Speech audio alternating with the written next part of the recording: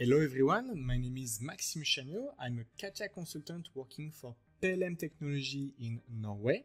And today I'm going to perform a live demonstration of 3D Experience Release 19X on cloud.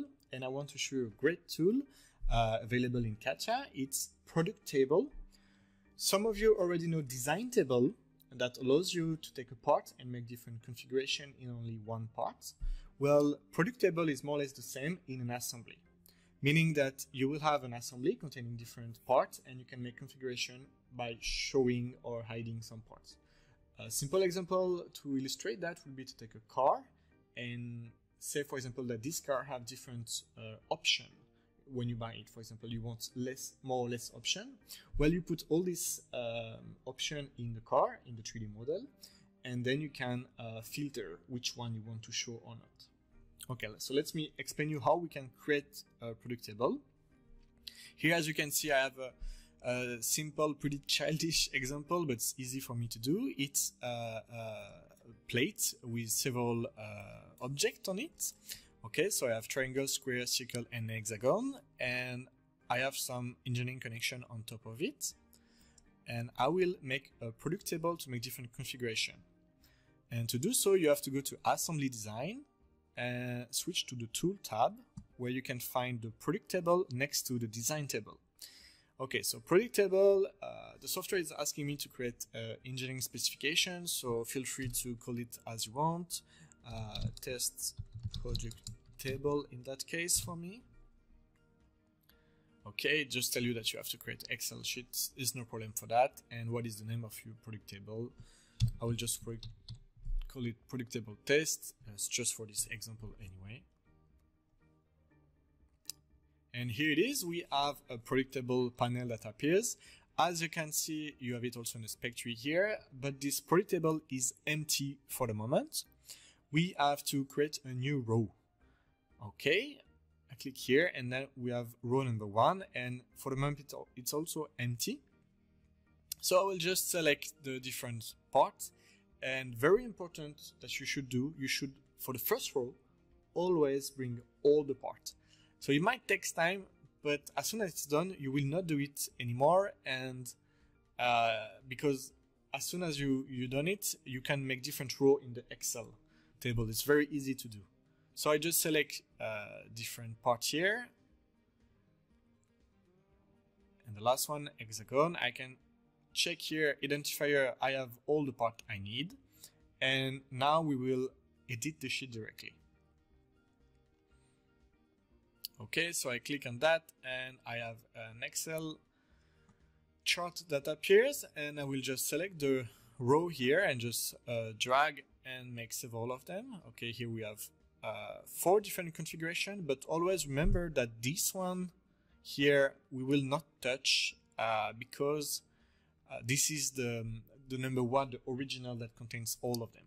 So what does it mean true and of course false? Uh, it means that when a part is true, it's uh, in the assembly and when it's false, we will just remove it.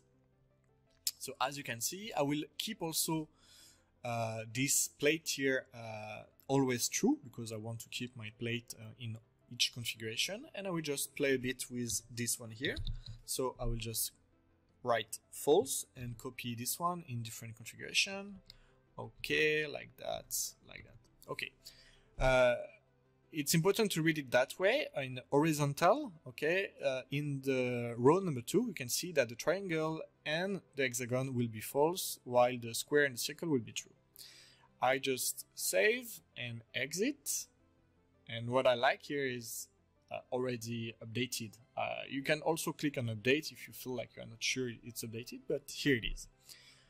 Okay, um, what we can try here is now we are actually on the row number one. All of them are uh, in the assembly. I will just switch to row number two.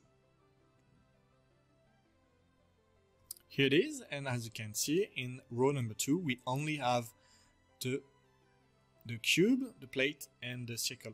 Very important here as you can see in the spec tree, it's only three parts. So really remove the parts. That's why you always have to select the uh, row number one as uh, containing everything.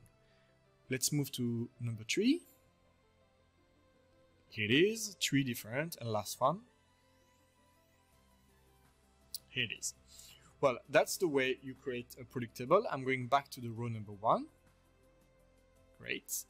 And now I'm going to show you another example that I did in the past. Uh, I used to uh, make my room, so that was one of my first room, and I wanted to configure it a bit uh, the way I wanted the table, the TV, the bed, uh, etc.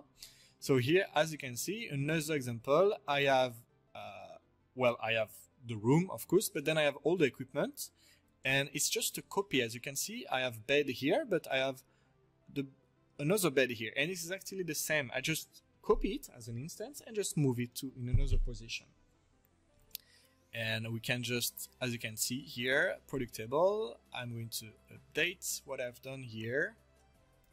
And we can even have a nicer. So here number one, as you can see, I have all of them, so it's not what we want. Apply row, and now I can move. Okay, so I can show you another view maybe.